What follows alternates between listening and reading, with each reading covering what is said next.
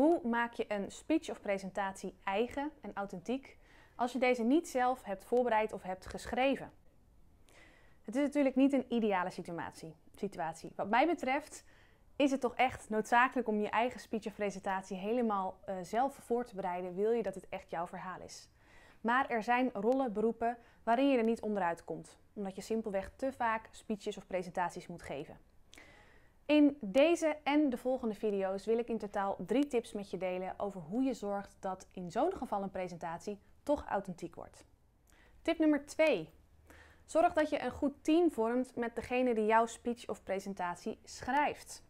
Het liefst is het natuurlijk fijn als dit altijd dezelfde persoon is. En het loont echt om te zorgen dat die persoon jou net even wat beter kent dan alleen de standaard praatjes zo in voorbijgang.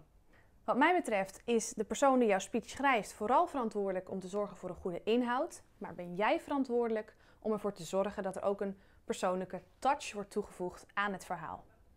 Hoe je dat kan doen zonder dat je zelf je presentatie of speech schrijft, die persoonlijke touch toevoegen, dat geef ik je mee in de volgende tip.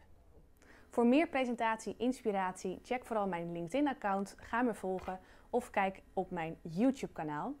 En mocht je samen met mij aan de slag willen om te leren presenteren met meer impact, plezier en gemak, laat het me vooral weten, want ik help je graag.